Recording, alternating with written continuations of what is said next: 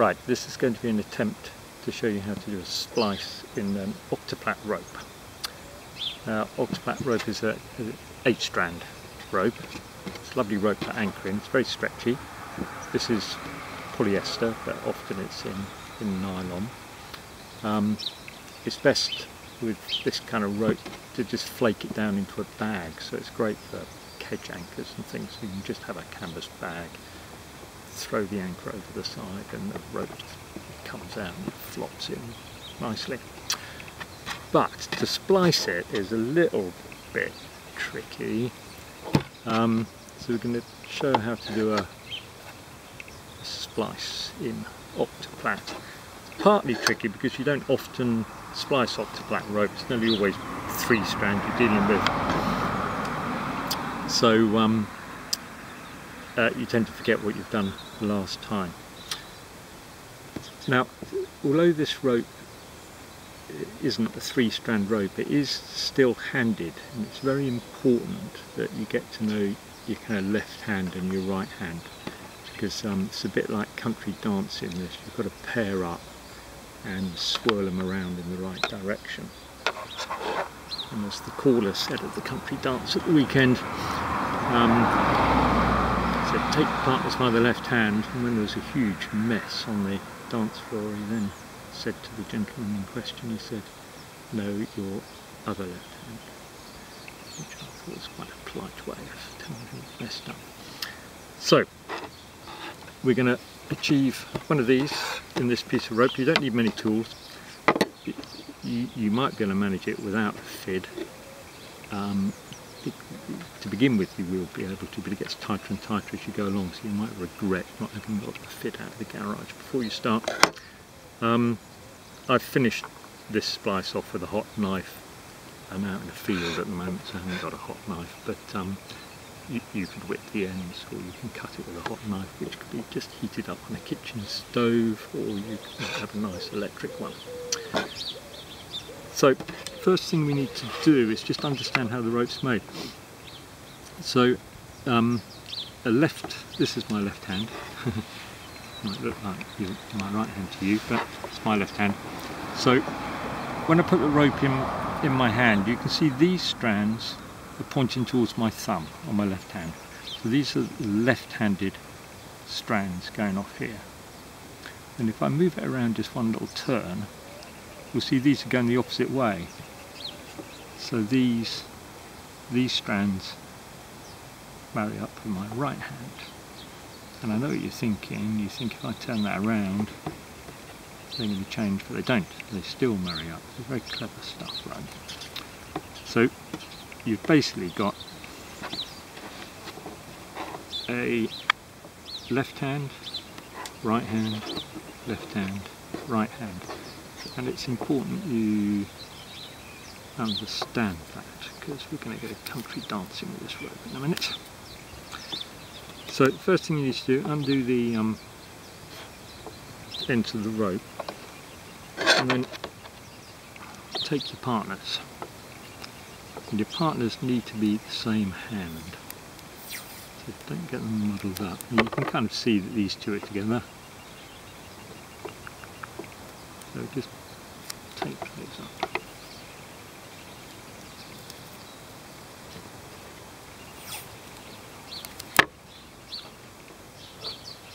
When you're doing these kind of splices it's best to not have too many interruptions because you can forget where you are. So turn your phone off. Unless if you're watching this on your phone don't turn it off because that'll really mess you up.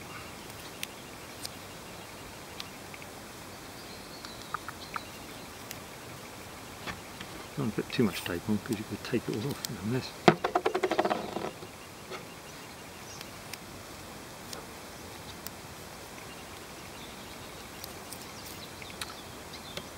Right, so now we've got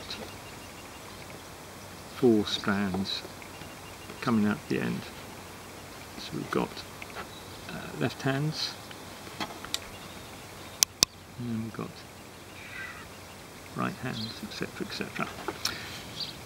Now we need to stop this, as you can see it unravels very easily, this rope's not kind of very heat set, so if you're not careful it'll kind of unwind too far. if you go back about 200, 250 mil, that'll be ample for doing your splice. You don't want to be too short because um, nothing worse than getting almost the end of a splice and realising you haven't got enough tails. It's also good to have a little bit of tail left to tug on. So I'm just putting a, a stopper down there. This is 16 mil this rope. Um, should be would be good for anchor for kind of 30 foot boat or 25 foot boat.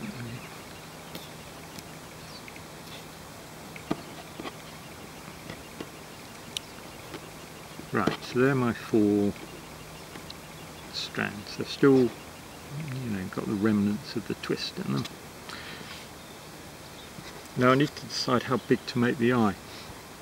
You need to be careful here because these eyes will get smaller um, as, you, as you work on the splice. So if if you need to make an eye for a specific size, say a 10 inch eye to go with a 10 inch cleat or something, um, make it about two diameters of the rope bigger up the inside because it seems to, whenever I do them, it, it this closes up as you tug as you tug the splice together. Now, so as not to waste any rope or time, I'm actually doing a job here. So and these these are meant to be 135 on the inside of the uh, of the loop. So I'm going to make them 135 plus a couple of diameters of the rope. That makes them about 170. These are hand holds. So if I'd made them, if I'd done that loop at 135 and it closed up, it would be a bit of a nightmare because you wouldn't get your hand through. You'll never get anything dead accurate with this stuff because it stretches. So there's my eye. Two diameters of the rope bigger on the internal just to take into account for where it um, closes up as you do the splice. Now, as always with splices, these first tucks are the um, the ones you've got to got to get right, and um, it can be a bit confusing. So you've got that's one hand, that's the other hand. You can see they're going off in opposite directions. That one's left, that one's right. So that's a pair. We'll keep them on the top of the rope and those two go underneath. Now what you've got to do is you've got to put a right hand twisted rope under a right hand twisted rope and a left hand under a left hand. So it doesn't really matter which one you start with. Obviously you need to make a tuck fairly close to where you put your tape on, otherwise the size is going to change. So this one here is a right hand, and this down here is the right hand lay in the rope. Be careful because your rope might be twisted or something, so get, make sure you get your kind of roads nice and straight. Right hand, right hand, right hand, right hand, all the way down there and this is right hand. So I'm going to go in here and I don't go that way down the rope, I go kind of up the rope. So I'm going in at right angles into that piece there. Um, I'm going to use Swedish fid, even though I don't need to. Where's my right hand grip gone? That's the one. Make sure you take the right part of this right hand. So it's going in there.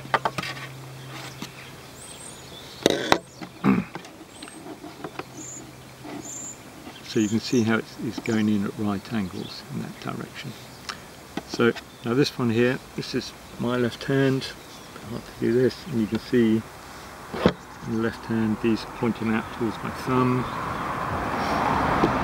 So I'm going to turn this rope over again. And I discover that that's, that's the left hand road going down there. So I need to go in um, same kind of close to this as I can. And I also still need to go in into the um, kind of up the rope. So I'm not going down that way. I'm going up up that way. So just, open that up again so this is both strands left hand going under both strands left hand. Whoops. Oh, just caught on something there. That's a ball. That happens a bit. Okay, it. Okay, don't worry, it'll look like a bit of a mess for me. so I'll turn it over now. So again, to see that one there's right hand. So I need to find a right hand. That's the right hand there. So this one needs to go in there.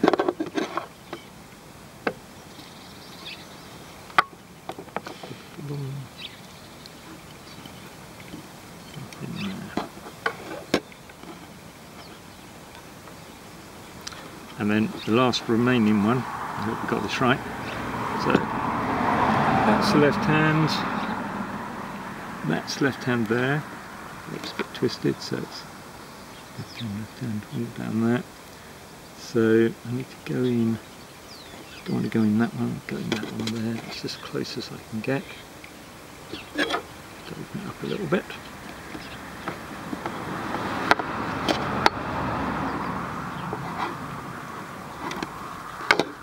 Hey, right, so now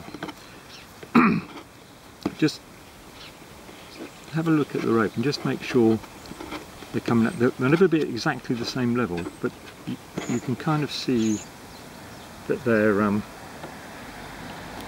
yeah, roughly the same level. It'll be one above and one below, one above and one below, coming out, same kind of side. Now I take off this tape at this stage.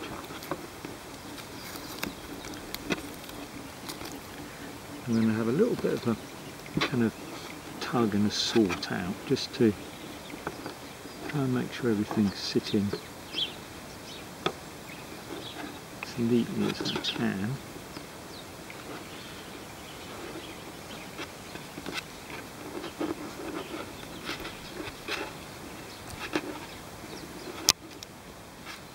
Now you can see it's got a lot of twists in it before it goes through so don't think it makes any difference to the strength of the rope but sometimes it's a good idea just to tidy that up so there's don't worry if you can't see this, you'll see it on that. Mm -hmm. it. So I've just I've just kind of untwisted that so it's it just looks a little bit neater coming from there to there.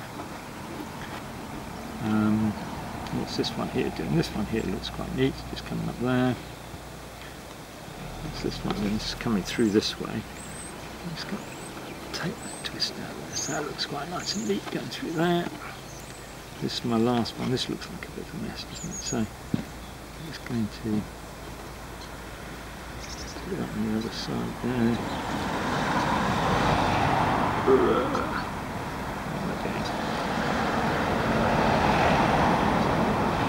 Always one, isn't there?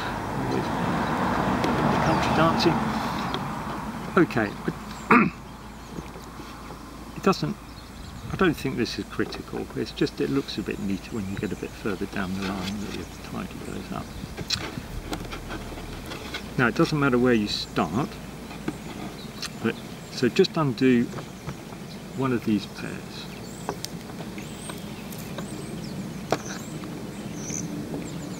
I do one at a time, I just find it gets a bit confusing if you want to do the whole lot, you've got loads of bits of rope flapping around. So this is all we're dealing with. It's quite early on a Sunday morning the traffic's building up because the sun's out oh, and everyone's going to the coast to get to their boats. Okay. Of course, the thing is this this is a right hand rope, uh, sorry, it's the left hand rope. You can see it's left hand going out towards the thumb. But each of these strands actually goes the other way, they all go out that way. So rope's always made like that with contrary, so a left hand strand gets right around that way. any case, that's not of any concern. We, we now undo this rope. So now, what we've got to do is find So this is the left hand um, piece that's gone under, so we need to find the rest of the mm, what's that one doing there? Yeah, bit of tidy up, right? So it's gone under this left-hand one here. So my next left-hand one, let's sort the rope out, is this one here. Left hand, left hand, left hand. What we're going to do now is we're going to put, see this is nearest me, this one's furthest away. So we can open up, we can open up the next double, the next kind of double piece, bring the fid back, just take the single piece and then go through with the left hand lay. Now, you might want to put just a little, see, just a little twist in there because the rope kind of unlays a little bit. So this just helps put it back into place. So then I'm going to go back into the other partner there with my other piece, put a little twist in it, go through there. Right, now we're on a bit of a roll. Got those through. So that was the one we went through with both of them. And now we're split. We've gone through there, split out the left, out the right. And we're going to go through this one. Dunk, dunk. So that's one, two, three, four. You could do it with three, you could do it with five. Don't think there's any real rules. In this case, we're going to do it with four because if we put too many on, it doesn't particularly work for this job. So that's through the first one. That's through the second one. You can see this is live time video you can see it's going to take a few minutes to do this because I've got to do all of these. Right. So there we go. And then so that's two.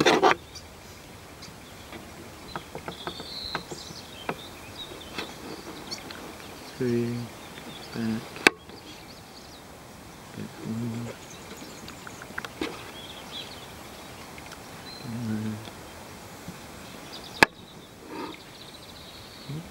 Put the twist back on that.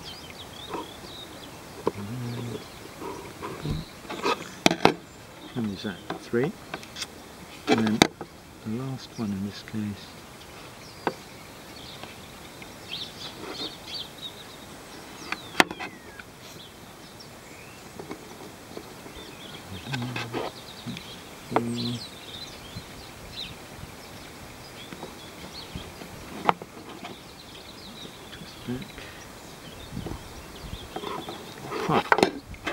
Okay, so we've braided this all the way down here, so that's our first one done. and it's looking rather nice. Now, undo another one.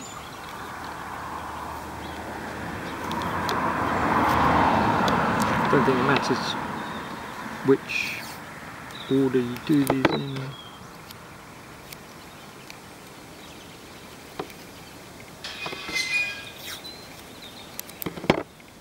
Don't need much tape. So it all comes off in there. A bit waxy So again, undo these strands. Okay, so you can see. Boom, boom. So there's the two strands coming out under there, and this is a right hand. So on my right hand, they're all going that way. So, so this is where we're going up here. Boom. So we'll be coming out here next to these. So we've gone under there with the double, so we need to go under here at this angle, open these two up, pull it back, open one up, take the left hand one, sorry, take the right hand one, your left hand one, right, hand. It's just like a country dancing, isn't it? there we go.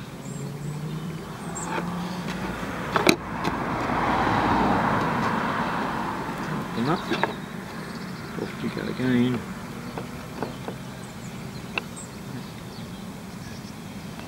Back. Boom, boom.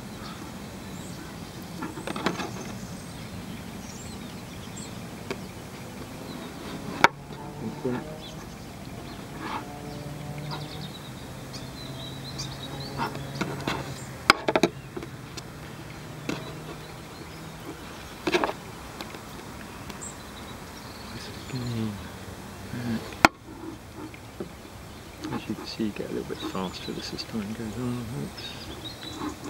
Just back into.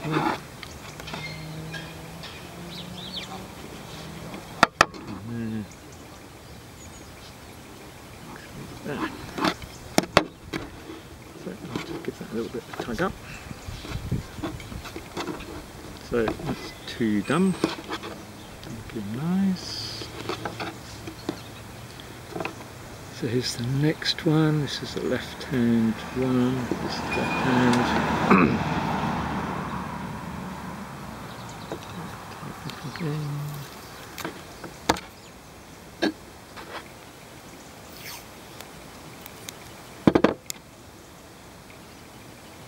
Oh, oh.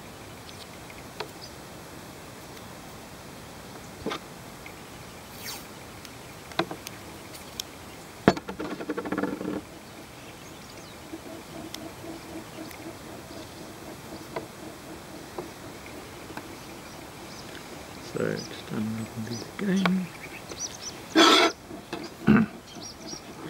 so once again, so here we go. There's the two strands going under the same lay direction coming out here.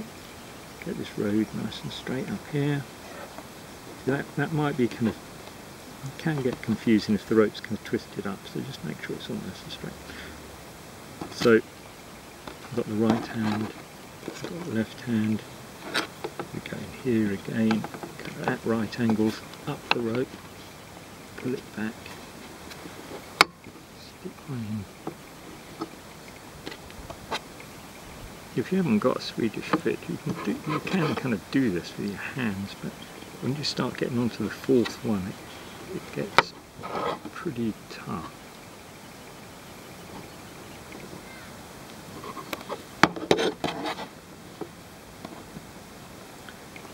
Right, we'll go through here now.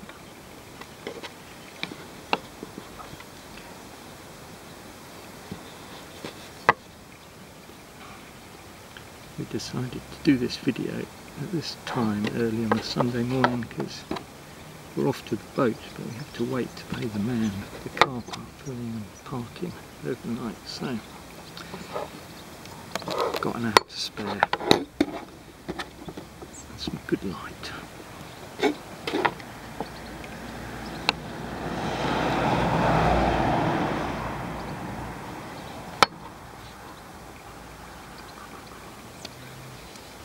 A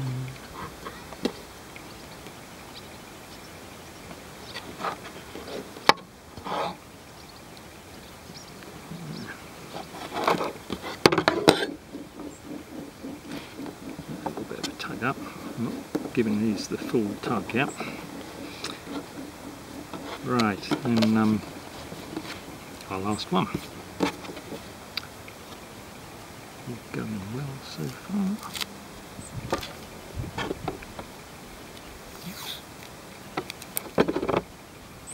I quite like my um, Octoplait polyester because it tends to last longer than nylon and although it's less stretchy, is something you quite want for anchor lines, it um, with this construction it still stretches really enough. Polyester doesn't get weaker when it gets wet. Nylon loses 10% of its strength when it gets wet. Um, so I just find it a bit more reliable really as a rope. So here we go, here's the last one. So here's my little road down here, tied in between all my braided ones. So there's, divide them up like that, I have to come in this way. There we go. Pop. Oh, yeah. Back. I hope you can see all this okay. Go through there. And the other side. Oops.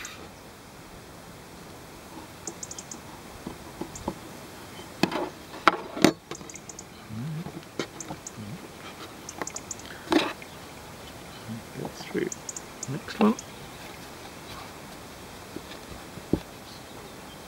I feel that's quite tight now.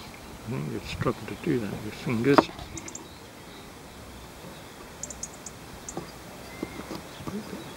in it.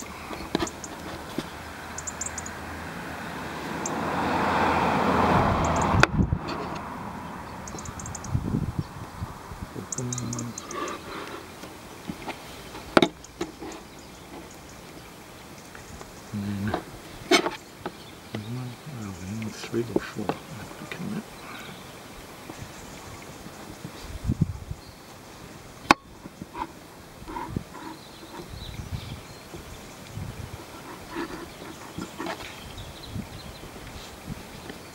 These actual things I'm doing are not for a boat, it's for a magic show.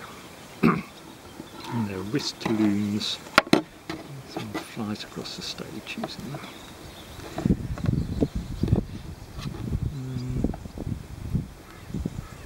Get one more in there, can't remember. I'm probably taking need one more.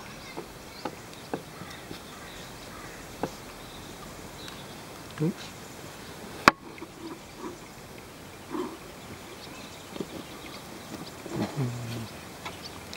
Mm, pretty much we're pretty much there now. It's just a bit of um, settling in, tightening the thing up. So just by the way, that, that eye I was hoping to get to about 135 internal. So there you go, 135. So that's come down. That's, you know, that was about that big. Um, so, as with all splices, it's good to try and get the tension in all of the strands about the same. You can do this by rolling in your hand. If you've got deck shoes on, you can roll them under your foot on the deck. Roll them on your knee. And then um, just give them all tied up.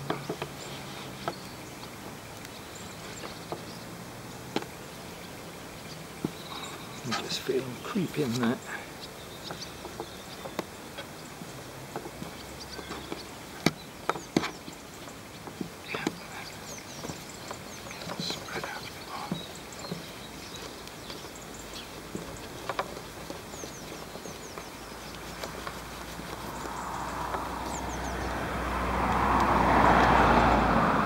Any case, there you go. That's the um, that's how you do an eye splice in octoplait rope.